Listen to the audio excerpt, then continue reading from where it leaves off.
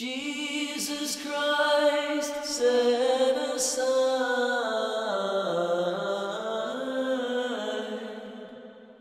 his Godhead,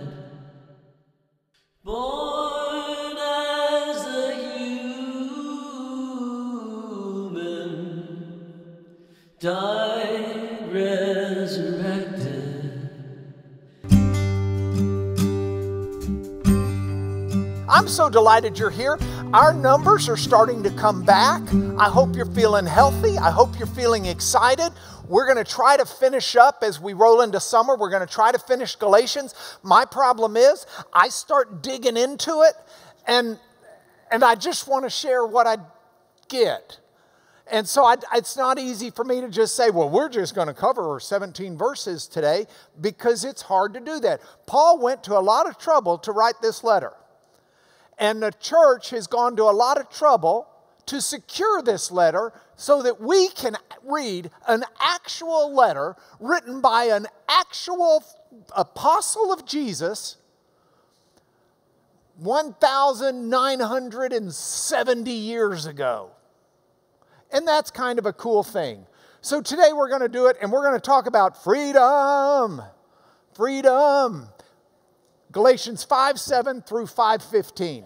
Now, let me tell you something that the neuropsychologists have figured out about our brain. Did you know that the human brain has a tendency to identify patterns? You will have a tendency to identify patterns even if they're not there. You can take something totally random, and the way your brain is hardwired, you'll, you'll, you'll, you'll see patterns that may not even exist. One of the classic studies that indicated this came about as a result of World War II. So, Germany was sending these, these rockets over. The V 1 rockets were being launched from France, where German had possession, Germany had possession, from France into England and into London. And the British were trying to figure out does Hitler have some type of a navigation system on that rocket such that it can pick where it's landing? Because if so, Hitler had technology that the, the Allies couldn't come close to touching. I mean, now, yeah, you can pinpoint, they can send a rocket to take out one door on a building halfway around the world. But back then, they needed to know is it random or not? So they took a grid and on, on they took a, a, a map, and on that map of London, they plotted where the V 1 rockets landed. And they asked themselves, is there a pattern here? And they drew the grid on it, and when they did, they counted four in one quadrant, 20 in another, 12 in this one, and 31 in that one. And this one happens to be where, where a, a lot of, of um, the significant government business is. And so the conclusion was yes, Hitler's got some type of a navigational device. I mean, come on, what are the odds that you could divide this into four and have these big sections where important stuff is and, and, and you know, compare it to these other sections. 4, 31, gotta be. Well, it turns out Hitler had no navigation device at all. That was just the intelligence service seeing a pattern where one didn't exist. So, for example, they could have taken it and divided it this way. I mean, who, who decides that you divide it in the way they did? You divide it this way, all of a sudden your numbers are 18, 10, 16, and 23. And it shows the randomness. But, but the intelligence service was able to find patterns where they didn't exist because that's the way our brains are wired. Now, that means A, we should be careful sometimes identifying patterns. But it also means B, if you want to teach somebody something, it's very good to use patterns, repetition, and design because the human brain better understands it, better remembers it, better perceives it. And Paul does that here. Paul uses in the passage we're looking at patterns and word repetitions that make this more learnable. Yeah, y'all better get a little bit closer than where you were sitting, okay? I mean, you were like three rows back from there, and that was not gonna do. Now, today we're gonna make three points as soon as those ladies get their Bibles out. We're gonna make three points. Our first point is what I didn't get to last week the seduction of self justification. And it's very seductive, it's very alluring, it's very appealing, it is enticing. And then we're going to talk about how the freedom to live is a freedom to love. And the final point we're going to talk about is the key community teaching that Paul had for the Galatian communities. So, with that, fasten your seatbelts, put your tray tables up. We're taking off. Here we go. Um, first, let's talk about the seduction of self justification.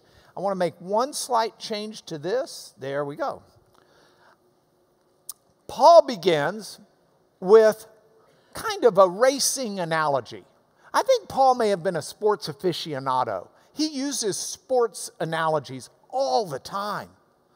So, one of his uh, analogies, and it makes sense, he was from Tarsus. Tarsus had one of the world's best gymnasiums. Uh, Tarsus was a, a town of a sports town, if you will. But Paul wants to ask the, the Galatian churches this. He says, What happened to your run? What happened? I mean, there you were, you're running the race, everything seems to be fine. And what happened? Here's the way he says it in Galatians 5 7. You were running well. Who hindered you from obeying the truth? I mean, here you were, ektrekete. Um, it comes from the Greek word treko. Treko means run. Like, I'm going on a trek.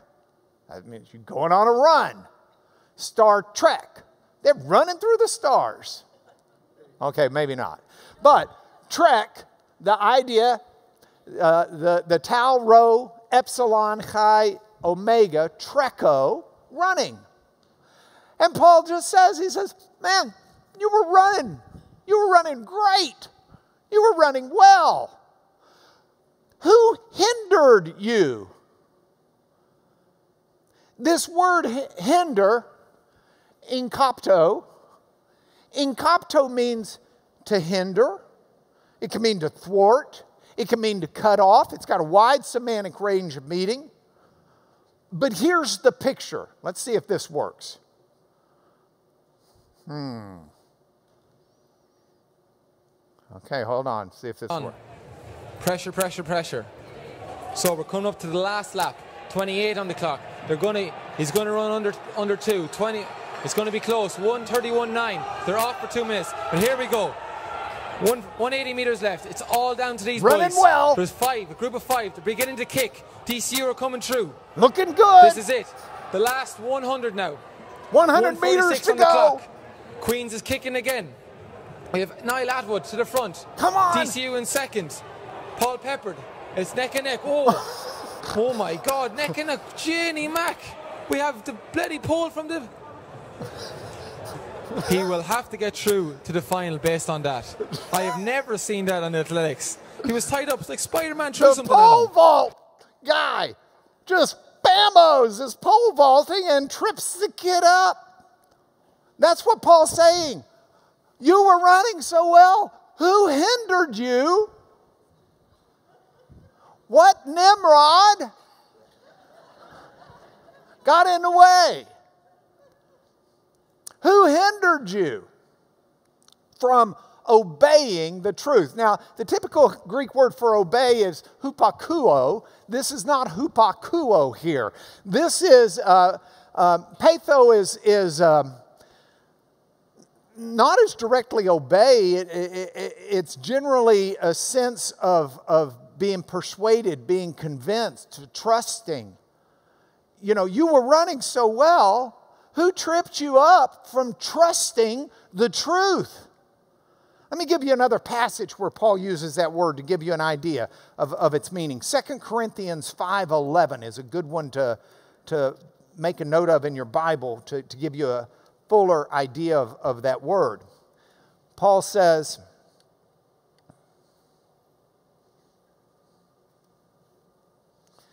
Therefore, knowing the fear of the Lord, we persuade others. That's the same word. That's uh, peitho, P E I T H O. We persuade. So, within the framework of that, Paul's saying, You were running great. You had this thing going so good.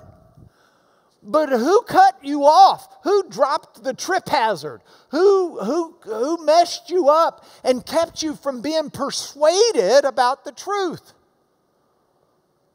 See, the goal of the Christian walk is always truth. We're not chasing after a mirage. We're not chasing after a dream. We're not chasing after something that, eh, you got to have something. What we're chasing after is true. It's real. It's legit. And that's not just the legitimacy of Christ's sacrifice and resurrection, but it's the legitimacy of that being God's redemption for humanity and all that that means, and how that means God loves you and God cares about you. And God is in the saving business because He wants to save you. And salvation isn't just an eternity, Salvation is a here and now reality that alters who we are and how we live. And we should be persuaded of that. And if something hinders us from that, then we need to learn to reject it. I got to tell you, this last week, there have been multiple times that things have just entered into my brain that don't belong there. And, and what, I mean, does worry belong in the brain of a Christian? No. Has worry ever entered your brain? Okay. So here's my latest. This week, well, not just this week, but what I've started doing is claiming a promise in Scripture that God will help me renew my mind. And when I'm worried or when I'm upset or concerned, and I know that doesn't belong there, Lord, renew my mind. Lord, renew my mind right now. Start rewiring that neural circuitry in here. Get rid of those old thought patterns and replace them with the godly thought patterns. Renew my mind. I'm going to lay my worries down before you with thankfulness, you're going to renew my mind. You're not just going to do it by saying, well, fine, you don't need to worry, but you are just going to die. I, this is a, a truth. The truth is, be persuaded of the truth. Don't, you know, claim that promise. So Paul says, You were running well. Who tripped you up from, from your convincement or trust or persuasion of the truth? This persuasion is not from him who calls you. Kaleo is the Greek word for call. We're going to see it again in a minute. Not an accidental pattern, a clear repetition to make sure we get it.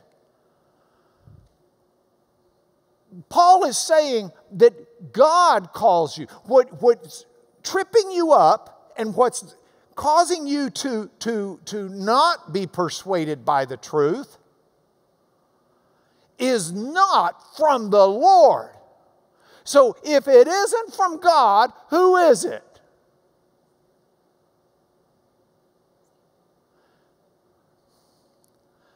Well, you can ask Bob Dylan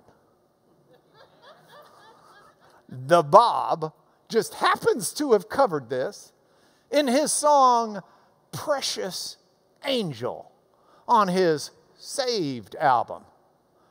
The enemy is subtle. Howbeit we're deceived. The truth's right there.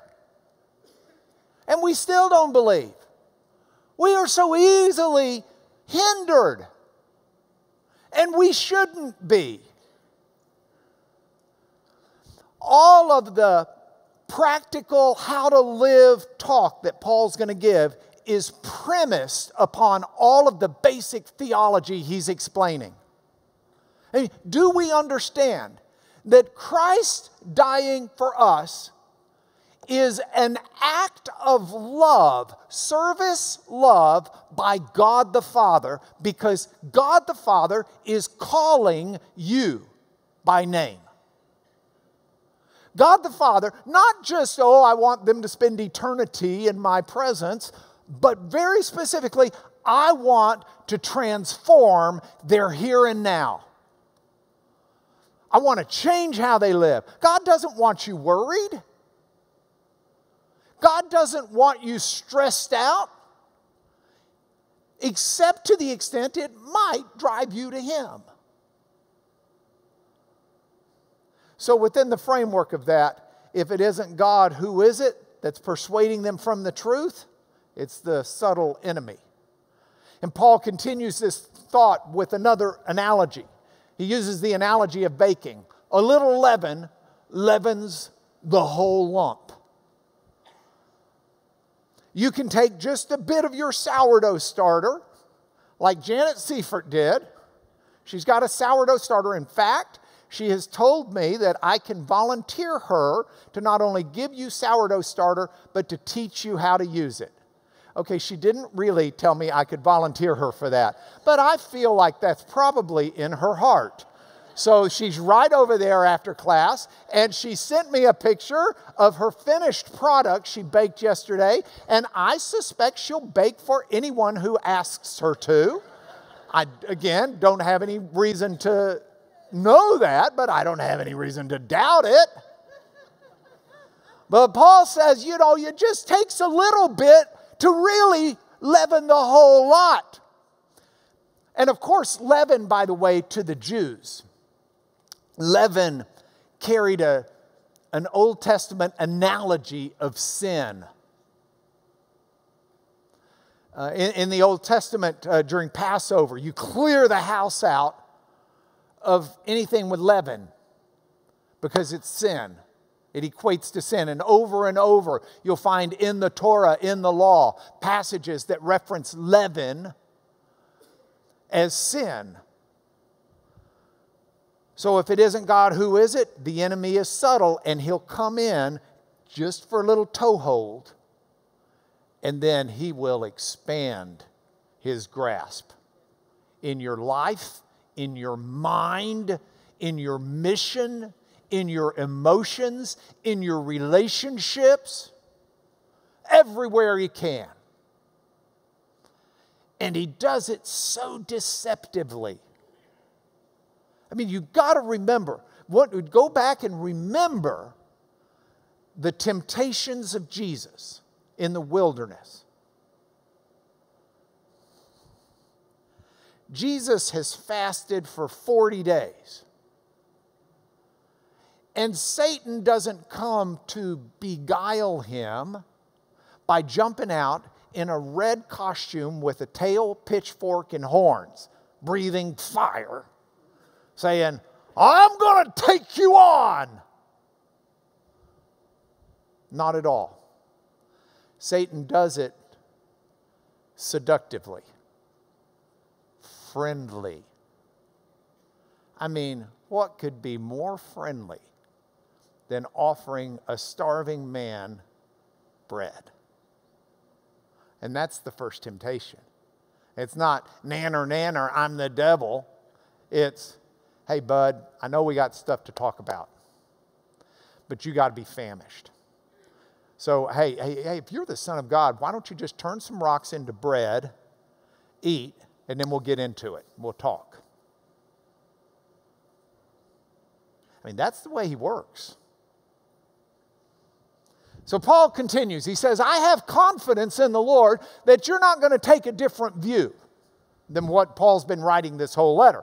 And the one who's troubling you, whoever it is that's misleading you, will bear the penalty, whoever he is. But if I, brothers, still preach circumcision, why am I still being persecuted? In that case, the offense of the cross has been removed. Now, you might be looking at that saying that doesn't really make a lot of sense to me. So let's break it down a little bit. Verse 10, Paul says, I have confidence.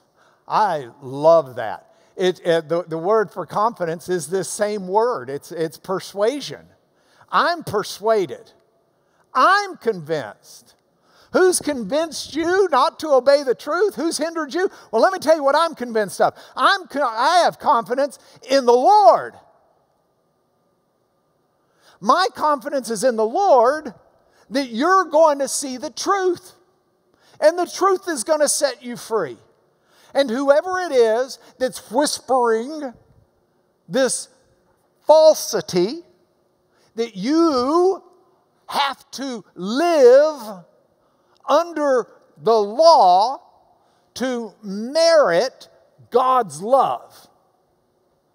Whoever it is that's teaching you that is going to bear the penalty.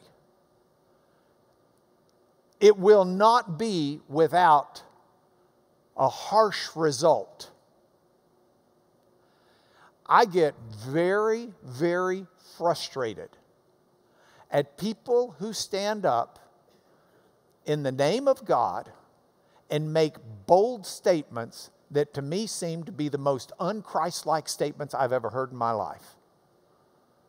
And I just want to get on the media because, of course, they get trumpeted on the media, they get media space, and say, Time out. That is not what every Christian is or believes. I will also tell you, I get really nervous at standing up and teaching. Because I never, ever, ever want to teach something that's contrary to the Word of God. Because people listen and they pay attention. And I don't want to hinder someone from obeying the truth, from being persuaded of the truth. And I know that what I say will bear consequences. And we need to understand that. That's important. And that's what Paul's saying. He has confidence. His persuasion is in the Lord that the truth will out and the deception will reap destruction. And then he's got this verse 11, which seems kind of bizarre where he says, But if I, brothers, still preach circumcision. And I think that this is a, a, passage that's hard for us to understand because we're only hearing one side of the conversation. We hear what Paul's saying, we haven't heard what was going on in the Galatian churches that Paul's writing in response to. So we don't understand the fullness of this, but I suspect it's something like this. If you read Acts 16 3, Paul is out in the missionary area, and from around the Galatian churches, Paul has picked up Timothy and taken Timothy with him. And so you see here, Paul came to Derbe and to Lystra, likely Galatian churches a disciple was there named Timothy, the son of a Jewish woman who was a believer, but his father was a Greek. He was well spoken of by the brothers at Lystra and Iconium. Paul wanted Timothy to accompany him, and he took him and circumcised him because of the Jews who were in those places, for they all knew that his father was a Greek. So here you've got Paul circumcising Timothy, and I suspect Paul's opponents said, Look, Brother Paul may tell you you don't have to follow the law, but even Paul preached circumcision. I mean, after all, didn't he circumcise our little Timothy? And so Paul's saying, if I, brothers, still preach circumcision, then why are they persecuting me? If, if, because Paul didn't preach circumcision. Understand, Paul circumcised Timothy for a very specific reason so that he would have a ministry among the Jews before the Jews became believers in the Messiah. Not because Timothy needed to be circumcised to be a Christian. Not because Timothy needed to follow the law to be a Christian. And so when the Galatian heresy is out there, when these opponents of Paul are coming and saying to the Galatians, hey, yeah, it's all fine and good to be a Christian, but you still have to live under the law. You still need to be circumcised. You still need to keep these holy days. You still need to, you still need to, you still need to. And Paul says, no, no, no, no. You have been saved by your faith in the resurrected and crucified Messiah, not by works of any law. And so Paul says, now, look, if, if they really want to say I'm preaching circumcision, then why would they be saying I'm wrong? Why am I persecuted? If in fact I was preaching what they're preaching, then they wouldn't be saying ignore Paul. But they're saying ignore Paul because I didn't preach that.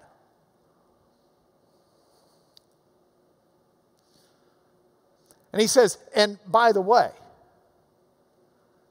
if I were still preaching the law, if I preached that you have to do to get,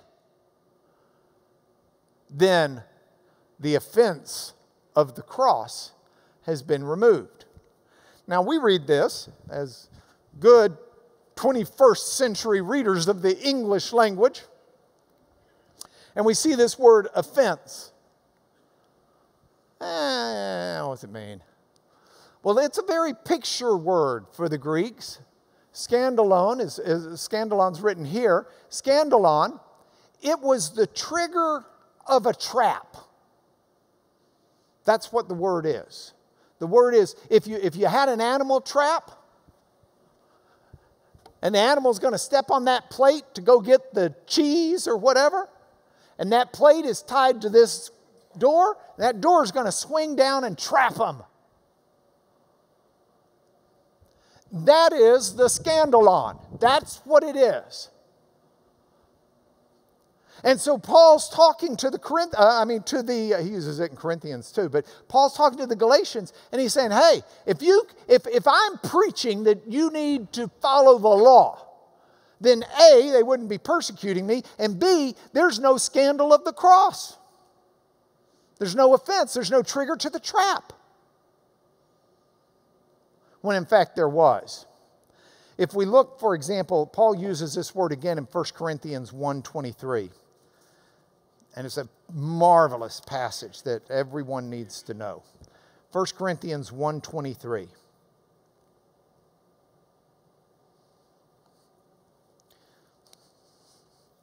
Um, oh, let's just back up. This is just rich. Okay? For the word of the cross. It's foolishness to those who are perishing. But to those of us being saved, it's the power, the ability, the dunamis of God. You want to be saved? The only way you get saved is through the power of the cross. Christ said, Nobody, nobody comes to the Father but by me. That is the only way to get to the Father, is to have your sins forgiven. You say, well, what about a child who dies at the age of six weeks? That child's sins were forgiven by the grace of God. Child's not old enough to trust in Jesus beyond just the natural trust that any child has at the age of six weeks. But don't think for a moment that that child's sins weren't forgiven and that child doesn't come into the presence of the Lord through the cross of Christ. No one can come to the Father. Abraham, Father Abraham. Saved? Of course. How? by the cross of Christ. His faith was reckoned to him as righteousness, his trust in God, but the righteousness was earned on the cross of Christ. The cross of Christ is folly to those who are perishing, but to those of us being saved, it's the power of God. God's going to destroy the wisdom of the wise. Well, I know better. The discernment of the discerning. I can discern better. Show me the wise one. Show me the person who writes the Bible out. Show me the big time debater. Hasn't God made foolish the wisdom of this world? Nobody ever dreamed that God was going to save the world by dying. Nobody ever dreamed that upon a wooden cross, the God who made the wood would let it be what took his human life. Satan never dreamed it. If Satan had known victory was in the cross, he'd have done everything in his power to keep Jesus from going to the cross. God made foolish the wisdom of the world. Victory through surrender?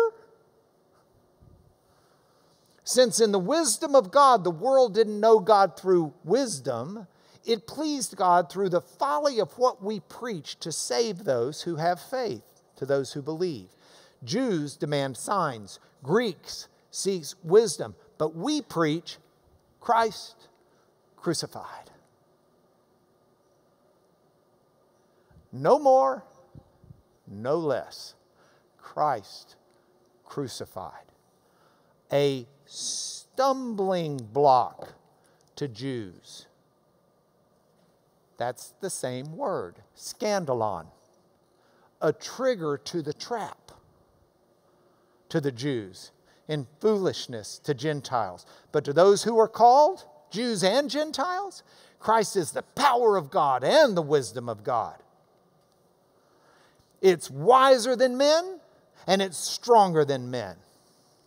That's our God. So that's the scandalon. It's the trigger to the trap.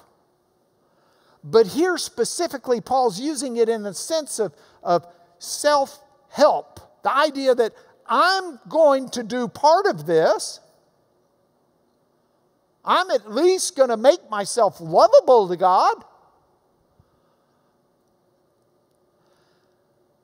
And the way this is an offense to us, the way this is a trap to us, the way the cross is a trigger to us is, is it strips our self justifying tendencies.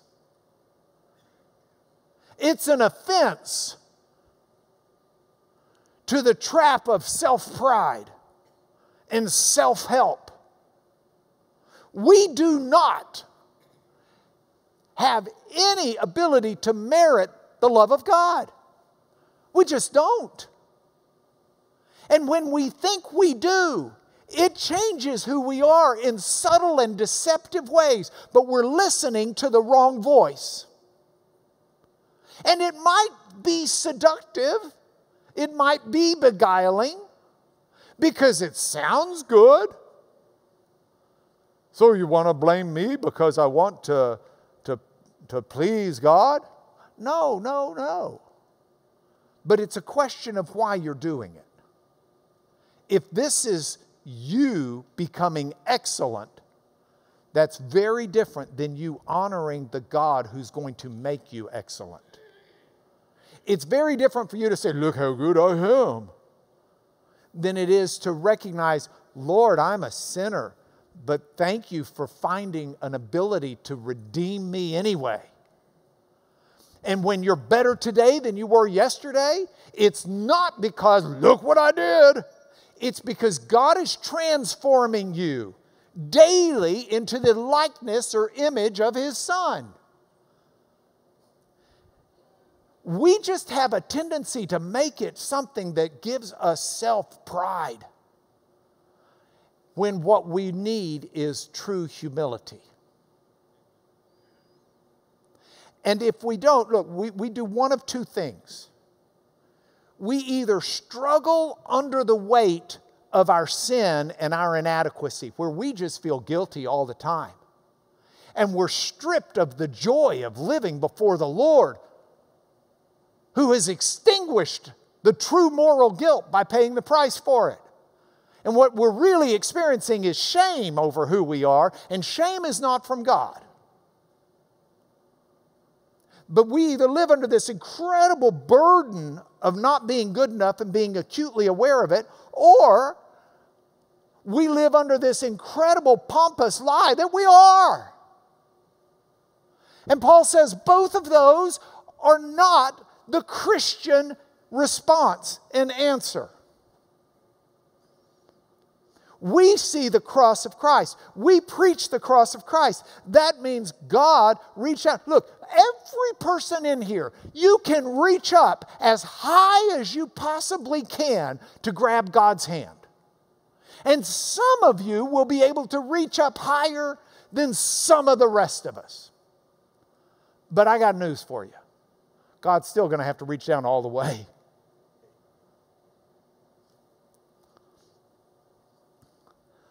Isaac Watts was a songwriter extraordinaire, but also a logician. He wrote a book on logic.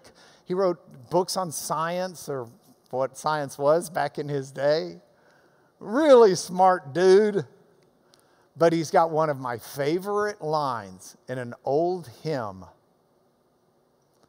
When I survey the wondrous cross on which the Prince of Glory died, my richest gain I count but loss, and pour contempt on all my pride. Second verse, forbid it, Lord, that I should boast, save in the death of Christ my Lord, Christ my God. That's just, that's like, pass the tissues to me. Man, that, that needs to be my heart. That needs to be my mind. That needs to be my soul. Forbid it, Lord, that I should boast, save in the death of Christ my Lord. You want to say, hey, Mark, you did real good? Let me tell you who did real good. I, it's Christ the Lord, I, not me. Forbid it, Lord, that I should boast, save in the death. And then Paul, bless his heart, as only Paul can, finishes this little vignette with a very Pauline statement. He says, These people, now remember in the context of this, one of their big, the biggest hangup was you know, fine, fine, fine, but you've got to at least be circumcised. You Gentiles, at least be circumcised. And then we're not talking about circumcised a seven day old boy. We're talking about adult men in an age without anesthetic. And Paul's saying no to circumcision as a requirement to please God, as a, as a ticket to enter. No. And so Paul ends it with I wish those who would unsettle you would go ahead and just emasculate themselves. Um, that's the word for castration. He says, while they got the knife down there, instead of just circumcising, just. Uh, enough said. That's the seduction of self justification. Let's move to the next point. Paul says you're free to live and you're free to love. James Denney was a Scottish uh, preacher. If you ever get a chance to read James Denney's books, I love James Denney's books. Here's something he said The aim of the epistle uh, to the Galatians is to show that all Christianity is contained in the cross. The cross is the generative, it generates, it's the generative principle of everything Christian in the life of a person. Everything that is Christian in our lives is generated by the cross. It's the freedom that we have. Paul says it this way in Galatians 5:13 as we continue. You were called to freedom, brothers. Actually, the Greek says, You to freedom were called. Puts freedom first for emphasis. To freedom you were called. Freedom. And so, for freedom, think about it. Paul's been talking this whole book about being slaves to sin.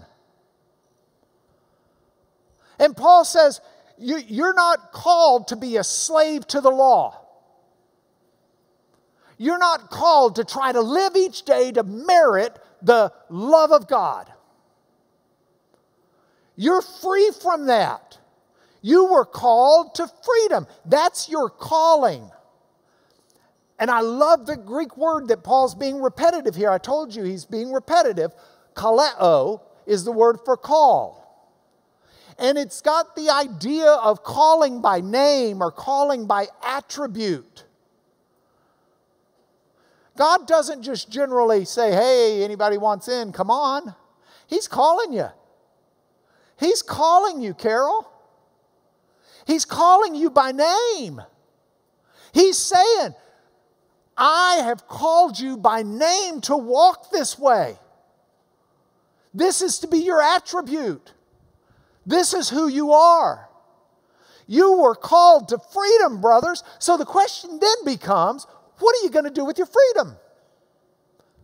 Now that you're free, what are you going to do with it? Paul says, For freedom you were called, brothers, only don't use your freedom as an opportunity for the flesh, but through love serve one another. Don't use it as an opportunity for the flesh. Now, the, the Greek word for flesh is sarx. Um, all right, sarx has got a lot of different meanings in a sense. It can be used a lot of different ways. I've got Dr. Sherry down here. She's a pediatrician. Kids come to her, they're sick. That is a flesh sickness where, you know, I don't know, she got some kid with strep throat, probably writes some something, I don't know, amoxicillin or something. That's that bubble gum stuff. But it doesn't come with baseball cards. Um, writes um, a prescription to try and deal with the flesh. Flesh is that, that Greek word sarx means flesh in that sense, but Paul uses it in a little bit of a different way. He, he's using it as a metaphor for another way we're sick. F.F. F. Bruce says it this way that self regarding element, this is what sarx is in the way Paul uses it here. That self regarding element in human nature that's been made sick or corrupted at the source with its appetites and propensities, and which, if unchecked, will produce the works of the flesh that Paul will talk about, and hopefully we will when we get to verse 19. Because the flesh, you want to feed the flesh, you're making a big mistake. You want to feed that part of you that's corrupt. That's what we're trying to renew is a corrupt mind. You worry, that's part of your flesh. You have anger issues, that's part of your flesh. You're greedy, that's part of your flesh. You covet, that's part of your flesh. You gossip, that's part of your flesh. You're sexually promiscuous, that's part of your flesh. You have trouble with the truth, that's part of your flesh and, and, and, and you feed that and it grows. But that's not what we're free to do. We have been set free so that we can have our minds renewed and we can escape all of the appetites and propensities of the flesh as we get transformed. And you say, Well, I kind of like the flesh. Well, no, you are stupid if you do. I don't want to offend you but it just ain't worth it in the long run. Do you really like to worry? You start putting confidence in the flesh and feeding the flesh, and you're, you, you may be feeding the flesh over here with gossip and greed, but you're going to see the flesh grow over here with worry or anger You may be feeding the flesh over here with sexual immorality, but you're going to see it grow over there. because your brain is going to be wired to the flesh when we need to be rewiring it to the spirit. So Paul says, You were called to freedom, brothers, but don't use your freedom as an opportunity to feed the flesh, but through love, serve one another.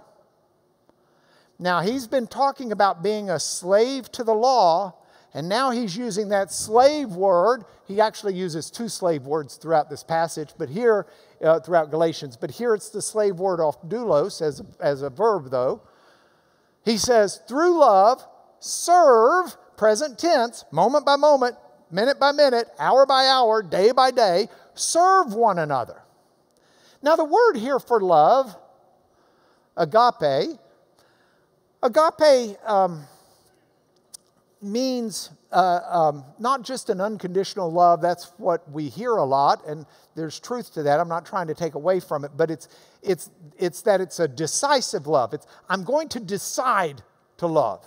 I'm going to decide to put someone's interest first and I'm going to do it through service. I'm going to, it's, it's very practical. I'm going to, this is a, a practical, decisive love. And Paul says that's what you want to do. And, and he's using a kind of a pattern here, a, a word play off of servant. But he's ultimately saying if you want to be enslaved, don't be enslaved to the law, be enslaved to practical love for each other, caring for each other in practical ways. I was on a 150 hour Zoom call yesterday. you know, I'm seriously, I mean, it was an important call, and I love those people, and I love my time with them on that call. But if you said to me, Mark, you've got four hours left to live, how would you like to spend it? I would probably say on that Zoom call, because that four hours seemed to have lasted about three weeks. Um, I was on a Zoom call yesterday, but one, and I'm glad I stayed on till the very end because one of the things a brother of mine said, he's a, an ear, nose, and throat doctor in Tennessee. Dr. John said one of his New Year's resolutions was instead of saying, I'll pray for you, he just decided he's going to pray for him. Practical love. That's agape. You want to be enslaved? Be enslaved to practical love for each other. Freedom to live is a freedom to love. Now, that's the key community teaching Paul has for them. Don't worry, we're going to end in four minutes. The whole law is fulfilled in one word love your neighbor as yourself. he's quoting Deuteronomy there, uh, or Leviticus. I've heard it both ways. Um, Leviticus 19 18. I don't have time to compare Matthew 19, 16 and following, but maybe I will at some point because that's a misunderstood passage that's just juicy right here. But if, if you shall love your neighbor as yourself, that's your community word. That's the way you react to each other. That's what you do. You agape, practical love your community like you practical love yourself. How many of you plan on eating today? Okay, that's practical love for yourself. Make sure other people can eat too. If you bite and devour one another, watch out that you're not consumed by one another. Be careful, that gun kicks and shoots.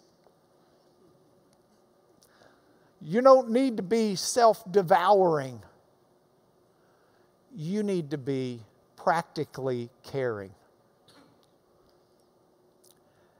This is the walk, this is the truth, and we should never, ever, ever get it backwards and think we're doing this to earn God's love. We're doing this because He set us free to do this. He's called us by name to do this. There are so many practical ways. I'm sitting here, I'm looking at the people who have the, the ministry. The name of the ministry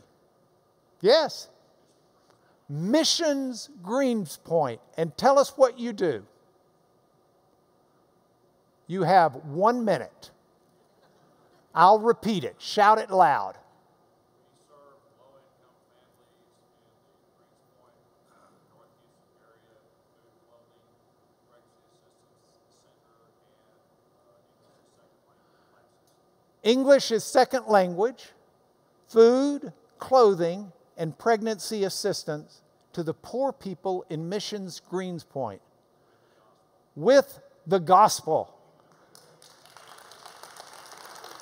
Have you suffered financially in the mission work that you're doing because of COVID? Yes. Do you worry about where the next dollar's coming from? Yes. But we're going to get over that worry because God's going to fix it. And y'all can give to Mission Greenspoint. It's a 501c3, but even if it wasn't, it's a good thing to give money to. It's practical love. It's the easy practical love. I you say, well, I don't have money. That's okay. Go volunteer somewhere. Come volunteer. Do something out of practical love. That's what you're free to do now. Here are your points to ponder. I want to grow in that love. Philippians 1 9, it's my prayer your love may abound more and more with knowledge and discernment. You don't want to do the practical works that are just to get it off your back. Uh, Mark said we had to do something. Sounds like Paul did too. Okay, we'll go do something. No, no, be discerning. Use your energy and use your opportunities wisely. Grow in knowledge, figure out what's good to do. That's why I didn't just say give money to Missions Greenspoint. I, I had Grace stand up and say, What'd they do? But then let's show our love. Let's not just grow in it, let's show it. Let's be like the Thessalonians that Paul wrote about who, who have a labor of love, where we work out of love, a practical caring that we decide to do, whether we feel like it or not. And your final point let's remember where this love comes from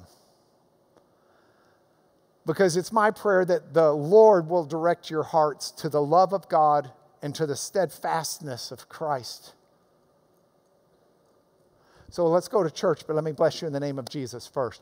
Father, in the name of Jesus, I ask for your love to transform our lives, that you'll renew our minds and strip away that wiring to worry, or that wiring to gossip, or that wiring to greed, or envy, or strife or sexual immorality or lying or idolatry, putting things in front of you, bad priorities. Rewire our brains, Father, to be wired around the love of Christ.